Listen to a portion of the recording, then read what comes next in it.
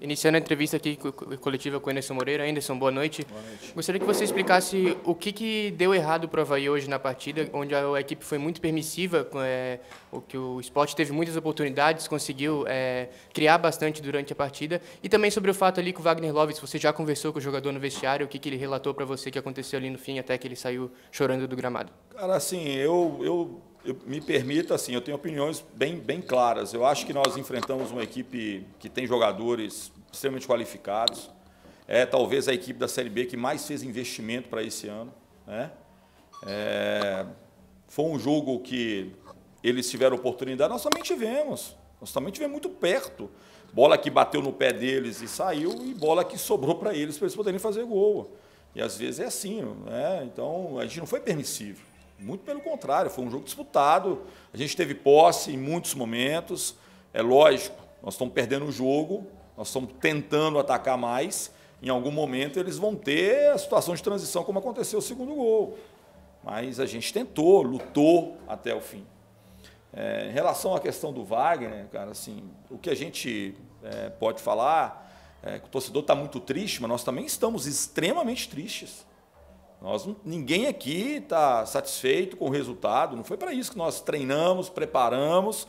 Só que tem, tem momentos que as coisas não acontecem. É como eu falei, eu acho que nós fizemos um, um jogo que poderia ter sido diferente. Tivemos chance.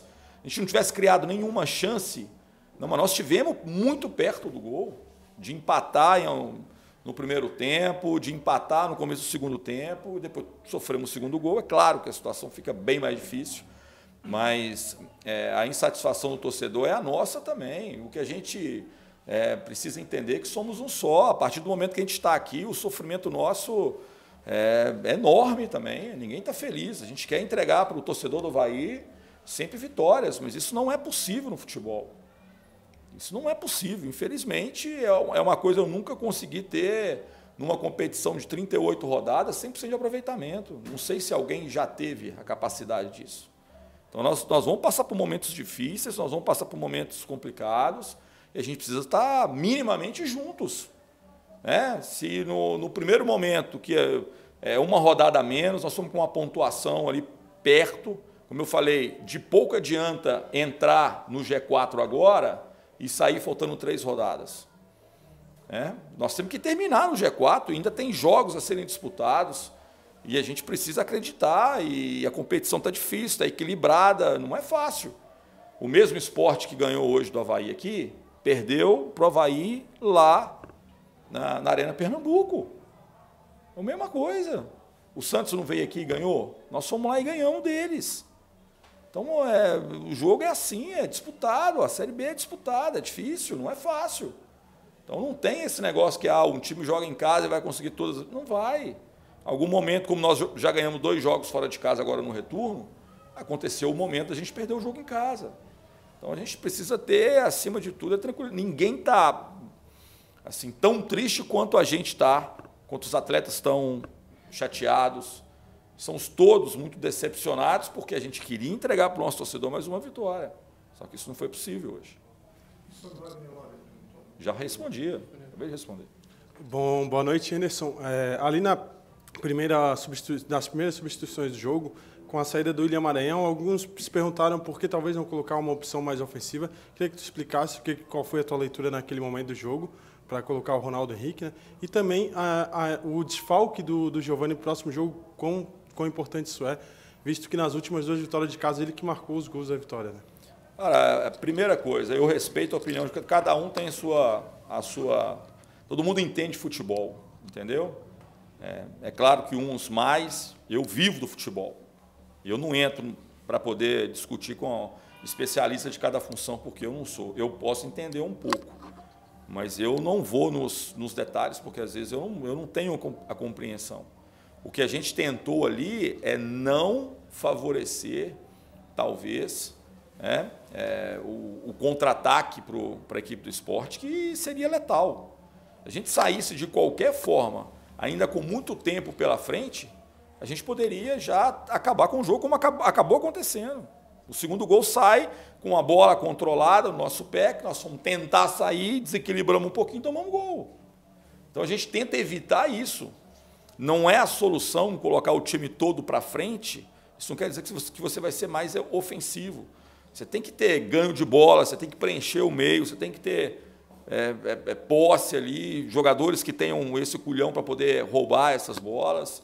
O que a gente tentou foi, dentro de uma manutenção de, de, de estrutura, ter um jogador que talvez tenha um passe um pouquinho mais né, em profundidade, um jogador que tenha um pouco mais de, de busca de, de, jogo entre linhas, para a gente poder tentar buscar o gol e estar né, tá no jogo novamente. Ederson, boa noite. É... O Havaí demorou um pouco para entender o esporte ali no primeiro tempo, time mais espaçado, diferente daquele Havaí que a gente é, costumou a ver é, nas últimas, nos últimos jogos. E, ao mesmo tempo, queria te perguntar o que, que aconteceu também, porque o time voltou no segundo tempo, né, já pressionando mais, mostrando o melhor futebol e criando, mas hoje foi fundamental uma coisa que chamou a atenção, o Havaí criou muito pouco. Queria que você avaliasse isso. Cara, isso eu falo assim, eu respeito sua opinião, mas eu sou, eu sou obrigado a discordar. Você pegar o número de finalizações, você vai ver que não é verdade. Não finalizamos pouco. Criamos boas oportunidades. Tivemos situação de finalizar quase na cara do goleiro. Tivemos chutes que passaram muito perto. Como é que nós finalizamos pouco? Não finalizamos pouco. Qual foi a chance clara de gol Você quer que eu nomeie? Não, quero que você fale uma. É, do João Paulo no final do primeiro tempo não foi clara. Eu só quero saber se você, se você tem o seu pensamento um pouco diferente do que a gente acha. Não, não é uma chance clara, para você não é. Eu acho que foi uma chance gol. Uma chance clara, ele estava sozinho praticamente, pegou um pouquinho mal na bola, mas foi uma chance, cara. Você viu o gol deles, como é que foi? A bola desvia e, e, e como é que foi uma chance clara? Não foi, só que a bola passou e sobrou para o cara livre o primeiro gol. A bola pega na trave, passa de um lado, é, o cara chuta para o meio da área e o cara chega de trás e faz o gol. São detalhes. Agora, aí, as, as, oportunidades, nós chegamos ali para poder fazer um cruzamento. Né? Tivemos perto no, no, primeiro tempo, com o cruzamento do Marcos, que quase o jogador desse fez o gol contra. A batida de falta do, do, do Giovani, que passou muito perto. A finalização do Marcos Vinícius, que também passou perto. Como é que, isso é só no primeiro tempo. Como é que a gente não teve? É, é que eu falo assim, se você quiser ver só o que aconteceu de ruim com a gente, você pode falar. Eu, eu eu me sinto na obrigação de ter uma leitura do copo meio cheio. Tem coisas que foram positivas e eu não posso descartar isso. Eu não vou jogar o meu grupo para o buraco como muita gente quer fazer. Eu vivo do futebol, eu não sou simplesmente um curioso. Tá? Então eu preciso ver o que, que aconteceu e foi bom e o que, que não aconteceu que não foi bom.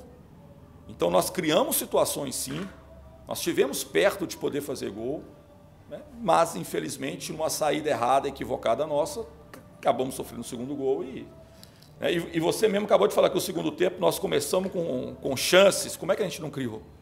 Se você mesmo fala comigo que no segundo tempo nós começamos com chances, com pressão, como que a gente não criou? Então a gente criou situações sim. Só que hoje nós não fomos felizes, é, talvez o suficiente, né, para poder fazer os gols. Eu acho que isso é, é, é determinante num jogo como foi hoje. E sobre a questão de ter demorado um pouquinho para entender? Essa é a sua opinião, cara. Assim, eu, eu tenho que respeitar, não é entender. O time está jogando, a gente não tem, a gente pode entender bem, você não tem como parar e falar com 11 jogadores o que, que nós podemos acertar e ajustar. Às vezes é só no intervalo do. Infelizmente para vocês, né, as coisas não são assim. Eu não tenho uma comunicação direta com cada jogador. Eu tenho com um aqui que vai chegar a mensagem para o outro de uma maneira diferente, nós temos que saber que demanda tempo. Elas não são, a gente não faz uma leitura e é imediatamente é, correspondido dentro de campo pelas ações dos jogadores. Isso demanda tempo. E como eu falei, eu acho que o primeiro tempo a gente teve um pouquinho de dificuldade no começo, depois a gente equilibra e a gente cria situações para empatar. E boas situações. Poderíamos ter saído ali com um empate né? Não aconteceu. Né? A gente não pode ficar lamentando, não tem tempo para isso.